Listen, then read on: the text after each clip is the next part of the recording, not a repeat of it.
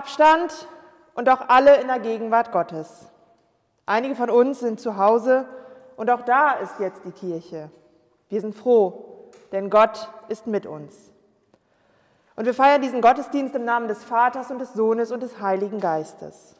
Unser Anfang und unsere Hilfe stehen im Namen des Herrn, der Himmel und Erde gemacht hat, der Wort und Treue hält ewiglich und der nicht preisgibt ein Werk seiner Hände. Amen. Liebe Gemeinde, heute am Ostermontag wünsche ich Ihnen frohe Ostern. Ich hoffe, Sie hatten gestern einen schönen Tag. Ruhig, wie ich vor dem Gottesdienst gehört habe, wahrscheinlich bei den meisten zu Hause. Und wir beginnen den Gottesdienst heute Morgen mit dem Wochenspruch aus Offenbarung 1. Christus spricht, ich war tot und siehe, ich bin lebendig von Ewigkeit zu Ewigkeit und habe die Schlüssel des Todes und der Hölle. Wir feiern Ostern, weil Jesus Christus die Macht des Todes überwunden hat. Und diese Sprache aus Offenbarung, die uns ja mal etwas fremd in den Ohren liegt, die wird uns heute im Gottesdienst noch etwas begleiten, denn auch der Predigtext kommt aus dem Buch der Offenbarung. Aber entgegen seinem Ruf ist es ein Buch voller Trost, voller Hoffnung, dem Trost, dass uns nichts scheiden kann von der Liebe Gottes, nicht einmal der Tod, der Trost, dass wir alle bestimmt sind zu einem ewigen Leben. Und ich freue mich heute Morgen, dass der Posaunenchor bei uns ist, die Corona-Besetzung des Posaunenchores, eine kleine Abordnung. Das hat sehr spontan alles geklappt. Vielen Dank. Eigentlich waren die Lieder alle schon eingespielt für den Online-Gottesdienst. Aber ich glaube, diese Corona-Krise macht uns alle Meister der Improvisation. Und wenn Corona erstmal vorbei ist, wird uns nichts mehr aus der Ruhe bringen. Äh, dann sind wir gewappnet für alle Eventualitäten des Lebens, wenn diese Krise vorbei ist. Heute geht es in unserem Gottesdienst um Visionen, um Bilder für eine bessere Zukunft. Und wir hören jetzt erst einmal aus dem Alten Testament eine Vision in der Lesung. Und für die Lesung muss jetzt Gisela erst einmal bitte mit mir den Platz tauschen. Als Schriftlesung hören wir heute Morgen aus, Worte aus dem Buch des Propheten Jesaja, aus dem 25. Kapitel, die Verse 6 bis 9. Und der Herr Zebaoth wird auf diesem Berge allen Völkern ein fettes Mahl machen. Ein Mahl von reinem Wein, von Fett, von Mark, von Wein, darin keine Hefe ist. Und er wird auf diesem Berg die Hülle wegnehmen, mit der alle Völker verhüllt sind, und die Decke, mit der alle Heiden zugedeckt sind. Und er wird den Tod verschlingen auf ewig. Und Gott der Herr wird die Tränen von allen Angesichtern abwischen und wird aufheben die Schmach seines Volkes in allen Landen. Denn der Herr hat's gesagt. Selig sind, die Gottes Wort hören und bewahren. Amen. Wir wollen heute die Melodien von den Liedern hören, von dem Posaunenchor gespielt und in den Bänken liegen die Texte aus. Und als erstes hören wir von Lied 116 zwei Strophen ich habe aber alle fünf abgedruckt und es steht in Kiswahili auch dort, denn dieses Lied, ein sehr deutsches Kirchenlied, kommt eigentlich aus Tansania. Und ja, erzählt die Ostergeschichte. Ich lese davon die letzten zwei Strophen. Geht und verkündigt, dass Jesus lebt. Darüber freue sich alles, was lebt. Was Gott geboten, ist nun vollbracht. Christ hat das Leben wiedergebracht. Lasst uns Lob singen vor unserem Gott, der uns erlöst hat vom ewigen Tod. Sünd ist vergeben. Halleluja. Jesus bringt Leben. Halleluja. Und dann die letzte Strophe. Er ist erstanden, er hat uns befreit. Dafür sei Dank und Lob alle Zeit. Uns kann nicht schaden, Sünd oder Tod. Christus versöhnt uns mit unserem Gott. Lasst uns Lob singen. Halleluja. Und davon hören wir zwei Strophen.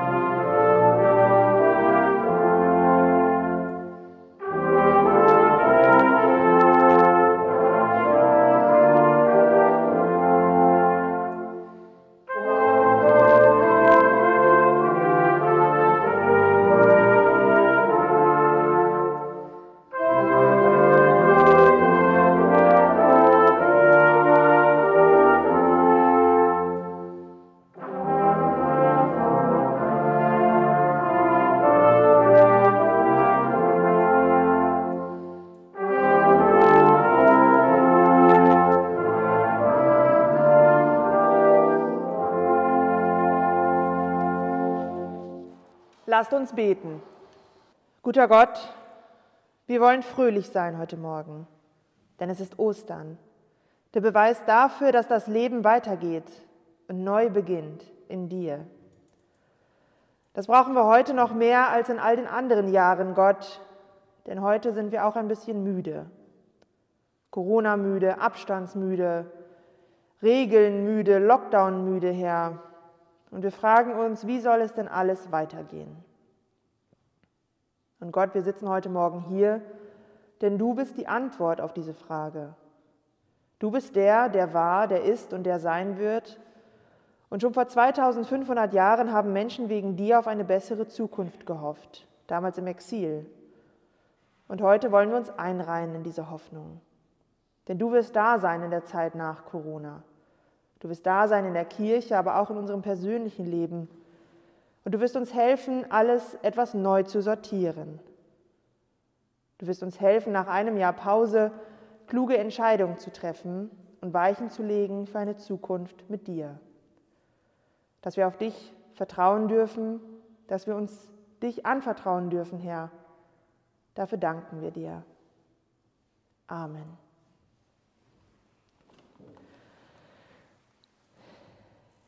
Ich lese für uns den Predigtext, wie ich ja schon angekündigt hatte, aus Offenbarung, Kapitel 5, die Verse 6 bis 14. Dann sah ich bei dem Thron, umgeben von den vier Wesen und dem Kreis der Ältesten, stand ein Lamm. Es sah aus, als ob es geschlachtet wäre. Es hatte sieben Hörner und sieben Augen. Diese Augen sind die sieben Geister Gottes, die in die Welt gesandt worden sind. Das Lamm ging zu dem, der auf dem Thron saß, und es nahm die Schriftrolle aus seiner rechten Hand in Empfang. Und als es die Schriftrolle empfangen hatte, warfen sich die vier Wesen vor dem Lamm nieder Dasselbe taten auch die 24 Ältesten. Jeder von ihnen hatte eine Leier und eine goldene Schale, die mit Weihrauch gefüllt war. Der Weihrauch, das sind die Gebete der Heiligen. Und sie sangen ein neues Lied. Es lautete, dir steht es zu, die Schriftrolle zu empfangen und seine Siegel zu öffnen. Denn du wurdest geschlachtet und hast mit deinem Blut die Menschen für Gott freigekauft. Menschen aus allen Stämmen und Sprachen, Völkern und Nationen. Du hast sie für unseren Gott zu seinem Reich und zu Priestern gemacht, und sie werden über die Erde herrschen. Dann sah ich viele Engel und hörte ihre Stimmen. Sie standen rings um den Thron, die Wesen und die Ältesten. Es waren zehntausend mal zehntausend und tausend mal tausend. Sie riefen alle mit lauter Stimme, dem Lamm, das geschlachtet wurde, steht es zu, die Macht zu bekommen. Dazu auch Reichtum und Weisheit, Kraft und Ehre, Herrlichkeit und Lob. Und alle Geschöpfe im Himmel, auf der Erde und unter der Erde sowie auf dem Meer, alles, was in der Welt lebt, hörte ich rufen, Gott, der auf dem Thron sitzt und dem Lamm, sollen Lob und Ehre zuteil werden. Sie regieren in Herrlichkeit und Macht für immer und ewig. Und die vier Wesen antworteten, Amen.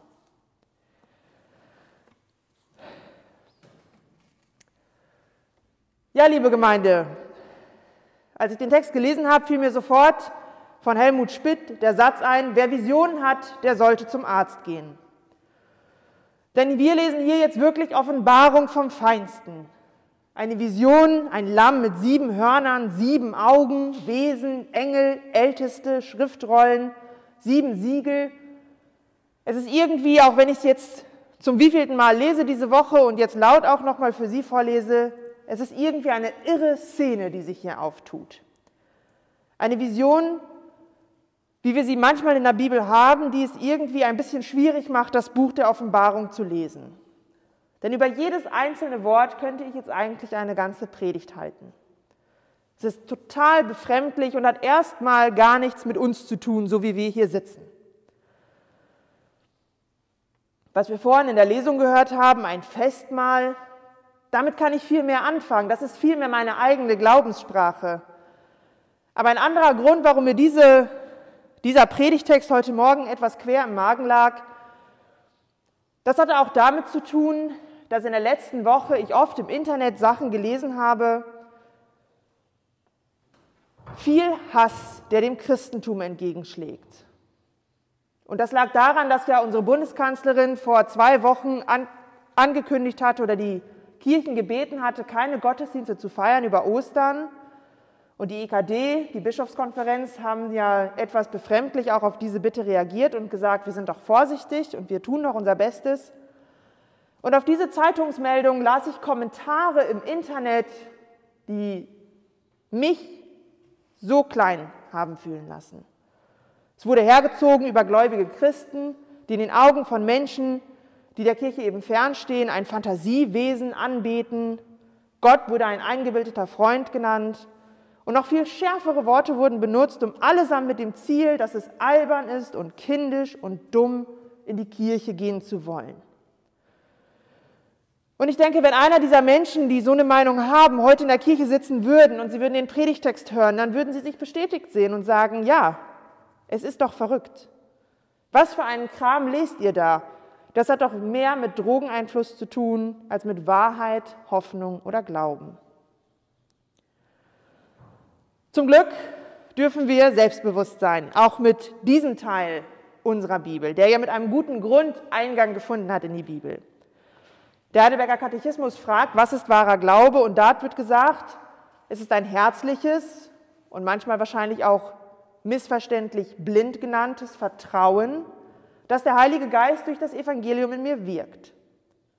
Es ist also Vertrauen, dass das schon alles seine Richtigkeit hat hier in der Bibel. Aber der Heidelberger Katechismus geht weiter und sagt, es ist auch eine gewisse Erkenntnis, durch die ich alles für wahr halte, was uns Gott in seinem Wort offenbart. Wir müssen also nicht diese Vision lesen und kapitulieren und sagen, naja gut, ist halt verrückt, aber glauben wir jetzt halt eben, sondern wir dürfen ein gewisses Wissen mitbringen, wenn wir diese Bibel lesen. Und durch das Wissen können wir Wahrheit darin erkennen. Jetzt ist also die Frage, was wissen wir über so einen Text? Er ist geschrieben worden im Jahre 81 bis 96 nach Christus. Und zu der Zeit war es Kaiser Domitian, der herrschte. Und er wollte von seinem Volk als Gott verehrt werden. Mein Herr und mein Gott, diesen Titel hat er eingefordert. Und das war natürlich für die Christen nicht akzeptabel. Sie weigerten sich und als Ergebnis wurden sie verfolgt, sie wurden gefoltert, sie wurden getötet in den Arenen des römischen Reiches oder sie wurden verbannt, wie der Schreiber dieser Vision, Johannes.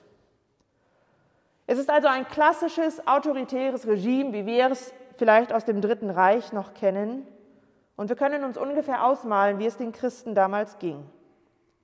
Johannes, der die Offenbarung geschrieben hat, war quasi einer der Glücklichen, der nur verbannt worden ist. Aus der Sicherheit in der Verbannung nimmt er aber trotzdem noch Anteil an dem Schicksal derer, die zurückgeblieben sind. Und er schreibt mit seiner Offenbarung ein Buch für sie, einen Brief, der Hoffnung und Trost geben soll. Und der ihnen irgendwie hilft, mit dieser Lebensgefahr in ihrem Alltag zurechtzukommen. Es ist eine Ermutigung, durchzuhalten. Und das packt er jetzt in Worte, ja, die sind 2000 Jahre alt, aber den Christen der Zeit war es eben verständlich und machte wirklich Mut.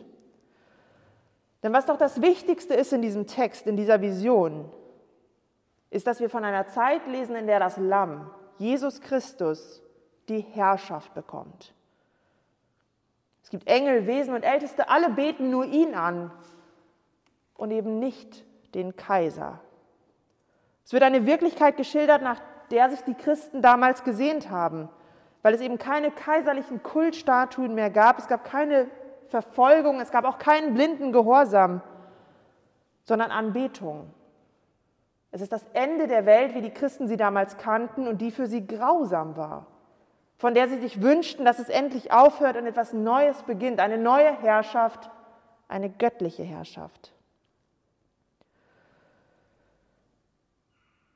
Es war für sie klar, alles, was nach dieser Welt kommen würde, muss besser sein als das, was jetzt gerade ist. Das wird in diesem Text durch diese komische Symbolik zum Ausdruck gebracht, wo wir immer wieder die Zahl sieben lesen. Sieben Hörner, sieben Augen, sieben Geister, sieben Siegel. Und sieben ist einfach die Zahl der Vollkommenheit, der Perfektion, des Göttlichen.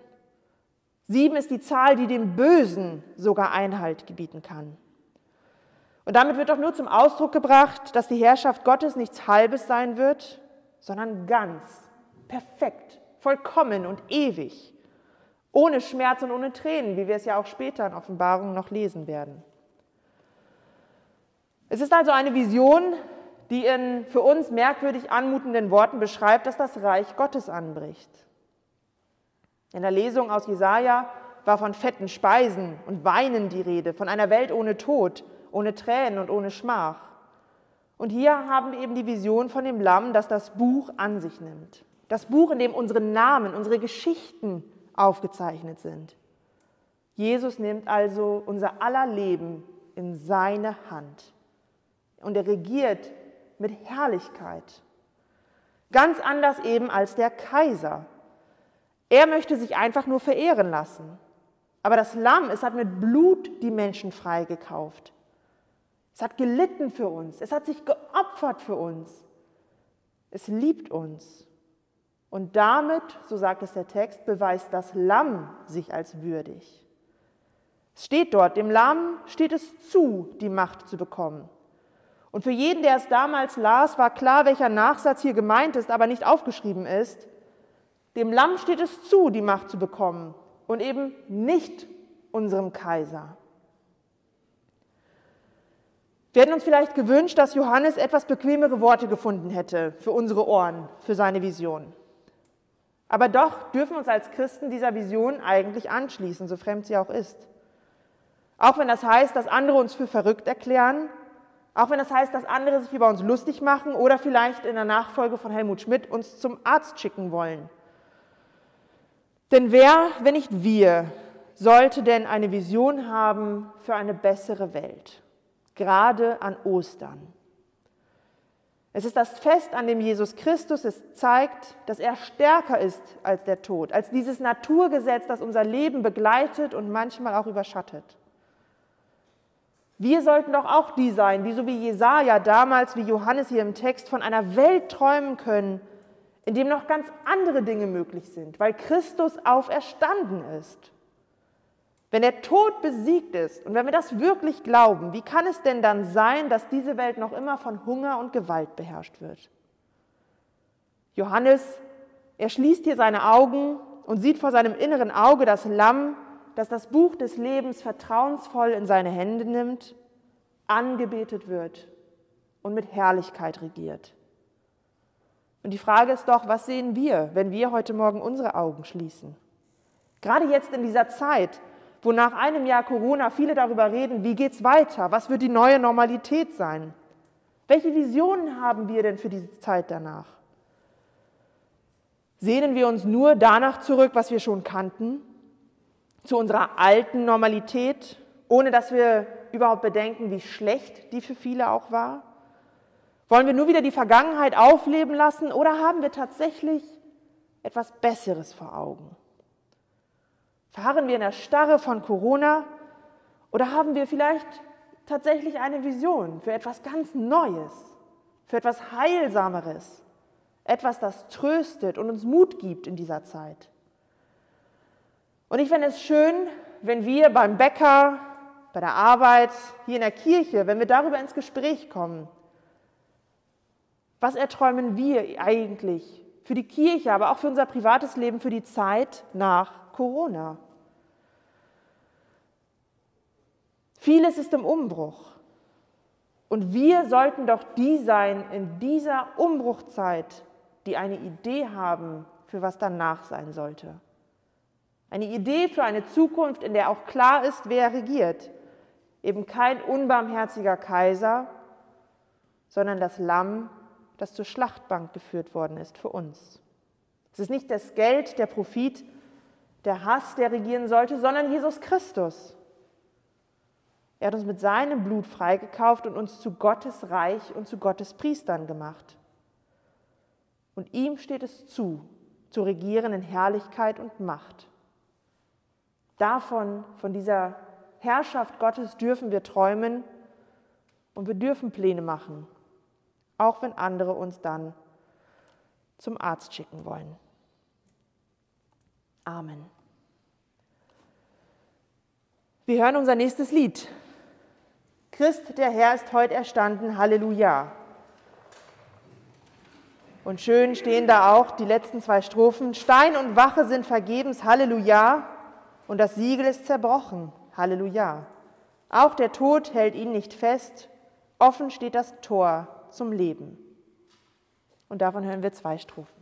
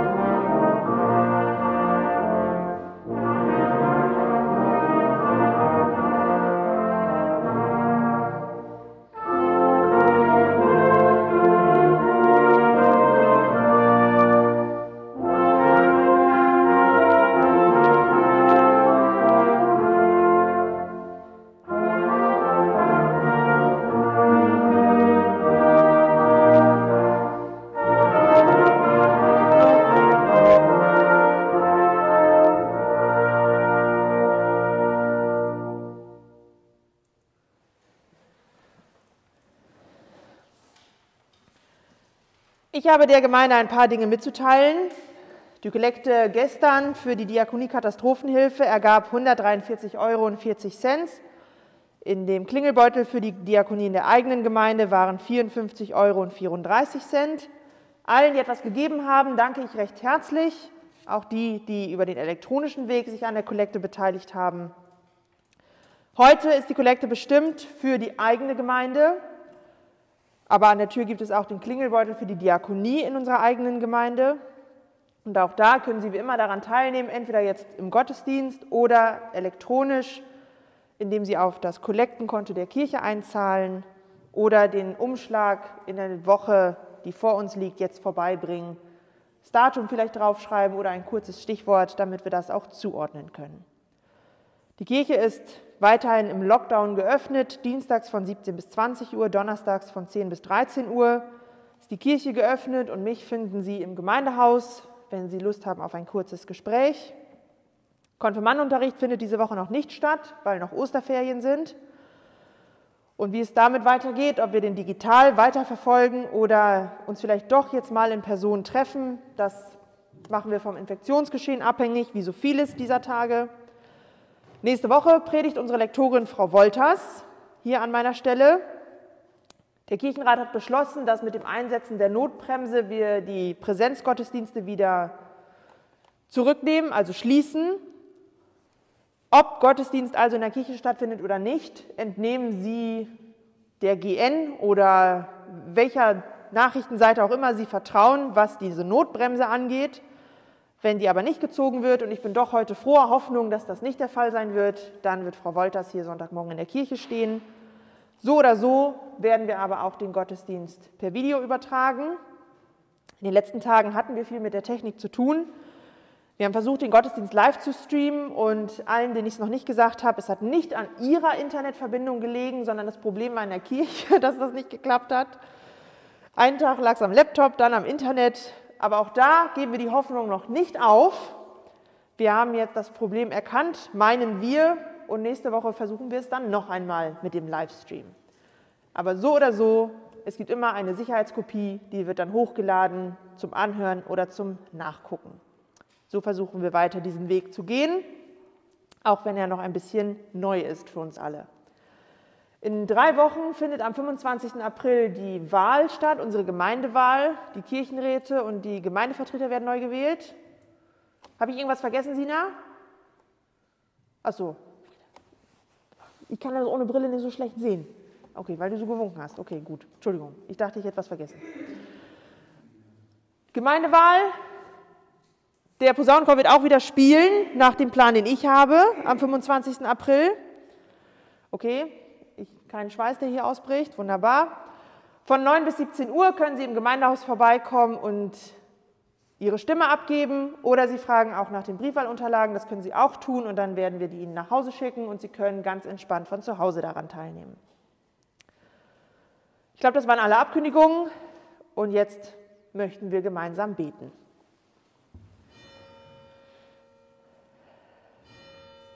Guter Gott, du hast uns befreit vom Tod und du befreist uns bis heute von weltlichen Mächten, die uns unterdrücken wollen.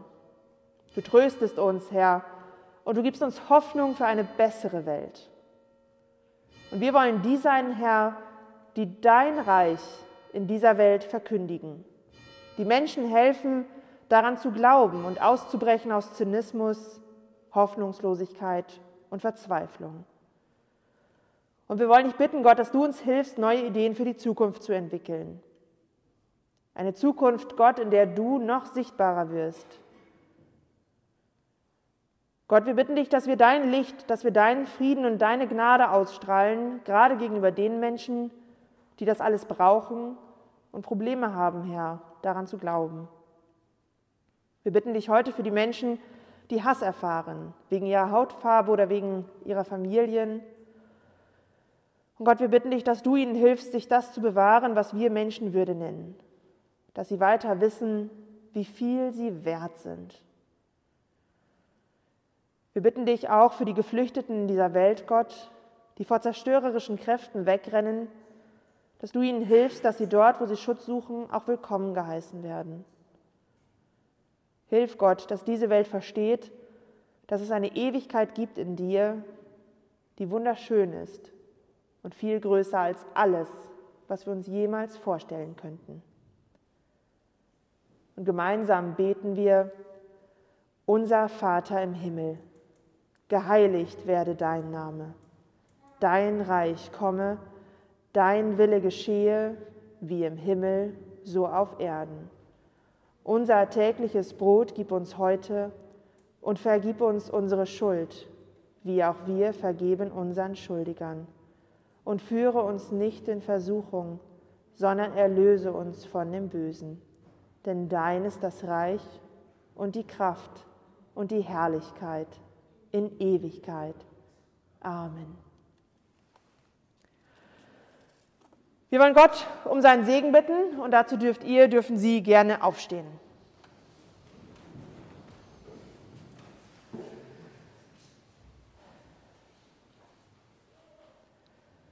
Der Herr segne uns und behüte uns.